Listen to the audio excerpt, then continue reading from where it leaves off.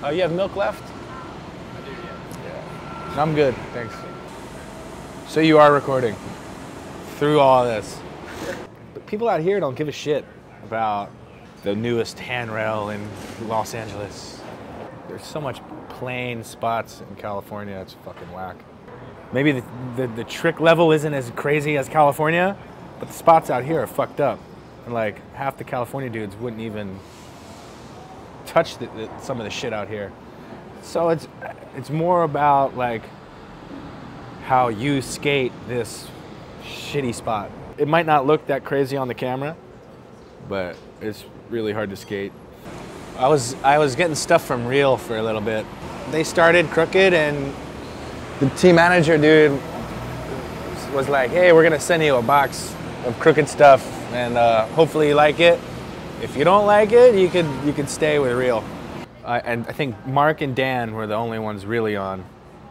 And then he got he got the first uh, am ad. I got one after him, and that was it. I was that was the team, just us four. I have a bunch of shit that I saved. I tried to save like I tried to save all my boards at least, but there's a few I'm missing.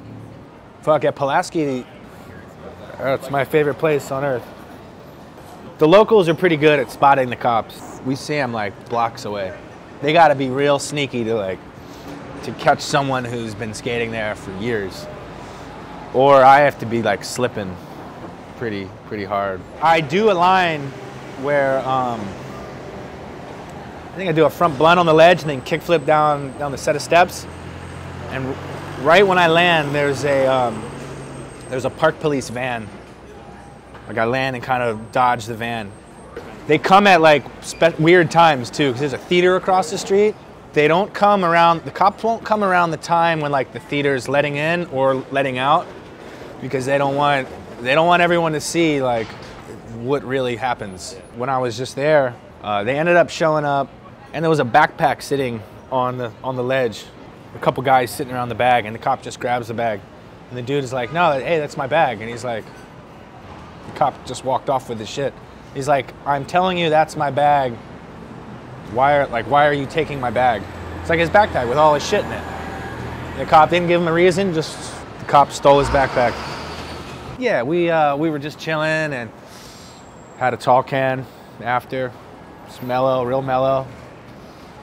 Threw the shit in the trash when we were done and like we're going to leave and we all get in the car. Yeah, the park police came up and blocked us in. I'm like, what the fuck? Wouldn't let us leave the parking spot.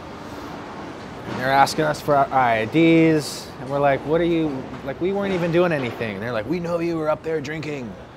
Prove that we were drinking. And the guy's like, all right, you want me to prove it?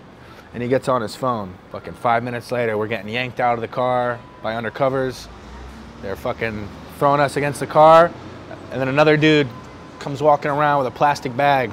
It's got like, it's got like vodka bottles in it, and like uh, uh, one of one of our beers we were probably drinking. And he's like, "This is this is the proof. You guys are going to jail." I'm like, "What the fuck?" So they're like fingerprinting us and shit. And the lady's like, "So what are you in here for?" Apparently drinking in public. And she's like, "What? That's they're supposed to give you a $25 ticket for drinking in public." Dickhead cops. Just do whatever they want to do. You're giving them a hard time, they'll, they'll lock you up.